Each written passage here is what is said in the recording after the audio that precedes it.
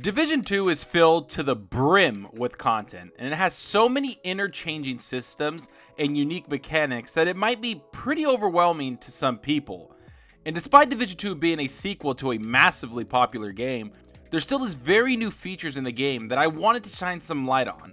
If you plan to spend some time with Division 2 or are in the middle of leveling up your character, this video will help you get through the game a lot easier. I will also talk a little bit about the end game and how you can get higher gear score to reach the highest world tier the game has to offer.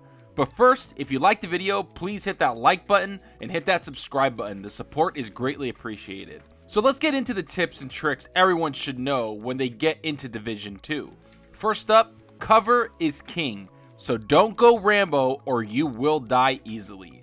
This game, as we all know, is a third person cover based shooter Always use cover where it's possible, and that shouldn't be too hard considering there's usually a lot of cover options all over the place. Ubisoft designed an awesome world with plenty of cool things to take cover with. Even some of the weakest enemies in the game will take you out in a split second if you're not careful. So if you want to throw a grenade, heal, reload, or even communicate with your team for 4 seconds, make sure you do it in cover. This is particularly true when you are entering the end game because you will be overwhelmed with plenty of enemies that can take you down with one well-placed shot. So trust me when I tell you, always take cover because that's the essence of this game. It's for you to be tactical and take cover and take enemies out while you're behind the safety of that cover. Don't try to run out there and think you're Rambo and take everyone out because you will be brought down easily by even the weakest of enemies. Because while you're in cover, wouldn't you know, their shots can't hit you, and when you're out of cover, they'll just shoot you like a flying duck. So make sure you're behind cover. Next, and this is a pretty important one, is that you make sure to explore. It's worth your time. Don't get me wrong, you will get some awesome gear as you go through the campaign, but like any good open world RPG like game, it's worth your time to explore the world. And let me tell you, the Division 2 takes that element and heightens it to the max. While you go to your next objective, make sure you go off the beaten path, because you will be rewarded for this. You will be given new materials, gear, and sometimes even side missions, all for just exploring. Not to mention this will put you in fights with patrols, protecting control points or doing public executions that you could stop. Doing these activities will reward you in their own way, especially control points. After liberating a control point, you'll be given access to a room filled to the brim with new gear. Not to mention all of this helps you level up even faster. So this game actually promotes you to go exploring and see the rest of the world. You see an alley, go down it chances are there going to be some materials or loot for you down that alley, maybe even some collectibles. It's all worth doing because you can take all this materials and use it in the game. It's really fun and actually makes you want to explore the world. And much like Anthem, make sure you use your skills and perks. It will help you out in tough situations. And I have to say, the Division 2 has no shortage of tough situations. So make sure you use all the tools at your disposal. This is even more important when you're playing solo. It's almost required to use your skills as often as you can when playing solo. There are 8 skills you can get from the Quartermaster, which are Turret, Chem Launcher, Seeker Mine, Drone, Pulse, Hive, Shield, and Firefly. And in each one of those, there's different variants of what kind of skills those have. For my build, I have a machine gun turret and a hive that will help me take enemies down much quicker.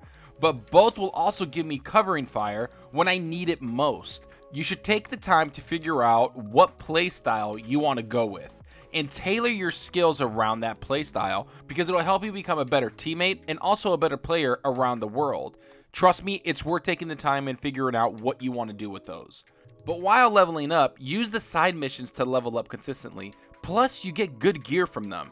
Now I know there are people that just want to do the main missions and move on to the next one, the catch is that the division almost blocks you from doing that, especially since different areas are for different leveled people. So this is how I recommend people treat side missions and campaign missions in the game.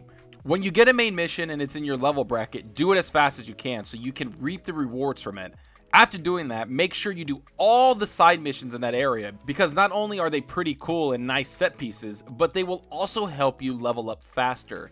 Completing just the main missions will leave you under leveled and not ready for the next area you have to go to. So take the time to enjoy the game and treat it like an RPG by doing all the side missions you see.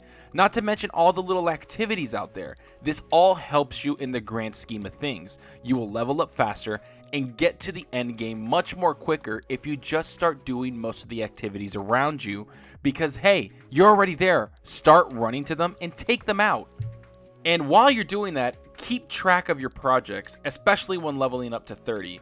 When you unlock a settlement, there will be a person that wants you to do a project for them. Projects are completely new and weren't part of the first game, so they've truly been something people have to get used to.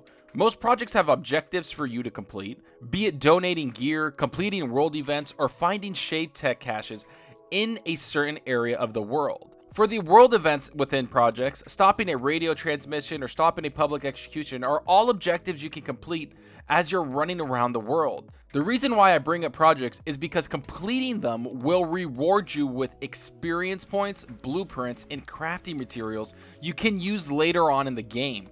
Some projects will also give you more experience points than some side missions and side activities will. They're also worth doing at the end game because you'll get a bunch of experience, a bunch of materials, and sometimes even gear. So I recommend people keep track of this.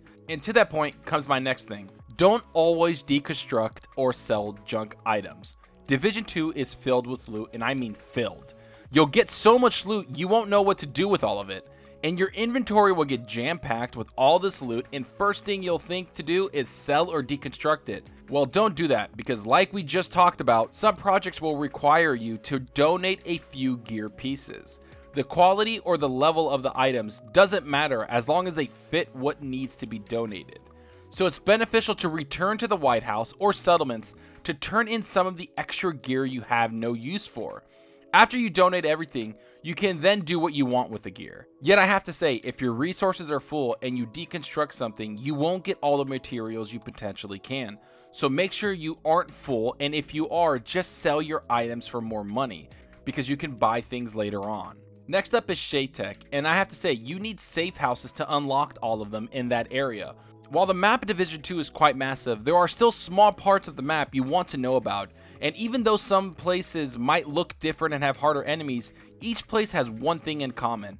They all have shade tech all over the place that you will want to collect.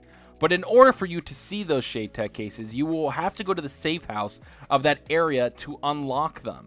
There will be a computer there at the safe house, and all you have to do is interact with it, and bam, all the shade tech in that area will show up, and you can go collect them all freely. There's other benefits to unlocking safe houses first in an area, like fast travel, so it's in your best interest to unlock all the safe houses in the areas that you go to, especially if you're new to the area. Make sure you take the time to skip everything and run straight to the safe house to unlock the shade tech and also the fast travel option to go there, because it just helps you overall in the game and cuts a lot of wasted time that you might have.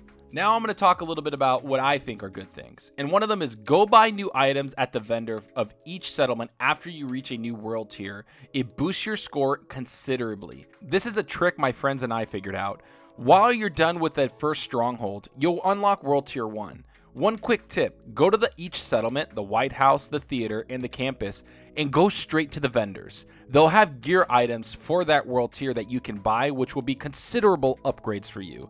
It'll boost your gear score and get you even further towards the end game, which is world tier 5, I believe. Now, all you have to do is go do the main missions and then go do the next stronghold when you have the gear level. And world tier 2 will come out. Once you hit world tier 2, go again to the White House, the theater, and the campus, go to the settlements that you know, and go straight to the vendors and buy the gear there again. There will be higher gear level that will boost you considerably again. These are great ways and easy ways and cheap ways to get higher gear score quickly in the end game. That's something that me and my friends figured out and we've been doing ever since. So trust me, go do that. And my last tip is to play with friends or other people. It heightens the game experience. Playing with buddies and actually talking about an enemy flanking you or just having fun with your friends is what this game is all about. Playing solo is extremely challenging in this game, and I tip my hat to anybody that tries it. But while you're with friends, make sure you always play with them, Play with one, two, three, or four people. It doesn't matter. Just have fun with it. And also, if you're at a tough place, go matchmake something. Join a group together, especially during the bounties or any hard things toward the end game, because everything is challenging in this game, and you don't want to get bored and struggle playing solo. So I recommend playing with your friends. And also, I hope this helped you. And if it did, please go down to the comments section and leave some tips that you guys think, and maybe something that I missed, or something that helped you along the way. Anybody's welcome to go down there and tell me about their experience with the game. And if you enjoyed the video, hit that subscribe button and that like button. Any support helps the channel out more than you know. And you can also follow me on Twitter at Zalker87. I'm always on there talking games and sharing my videos.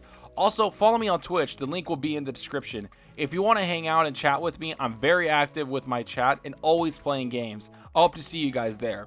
That's all for now. Thanks for watching. Until next time, remember, enjoy your gaming. Later.